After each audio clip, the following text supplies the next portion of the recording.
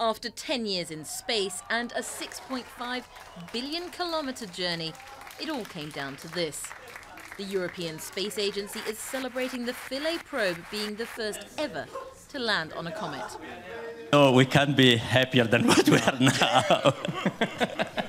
we definitely confirmed that the lander is on the surface. And After separating from the mothership seven hours earlier, the washing machine sized lander gently touched down on Comet 67P Churyumov-Gerasimenko bang on schedule. No easy task on a comet hurtling through space at 40,000 kilometers per hour. The landing is an outstanding achievement. Nobody knew what kind of conditions the lander would be faced with when it was developed more than 10 years ago. And the unusual shape of the comet has made its landing a particular challenge.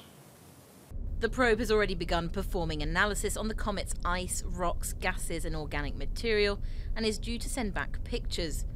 Astrophysicists hope Philae will unlock not just the secrets of the comet, but also the origins of the solar system and even life on Earth.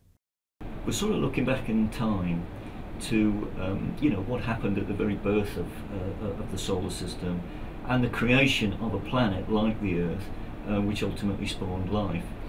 And uh, going to a comet present day allows you to do that by looking back in time at a remnant of the process that stayed like that ever since that formation period. The mission, which was approved in 1993, hasn't come cheap, costing 1.3 billion euros. Rosetta, which carried Philae, will continue to follow the comet throughout the remainder of 2015 as the primordial lump of ice and dust hurtles towards the sun.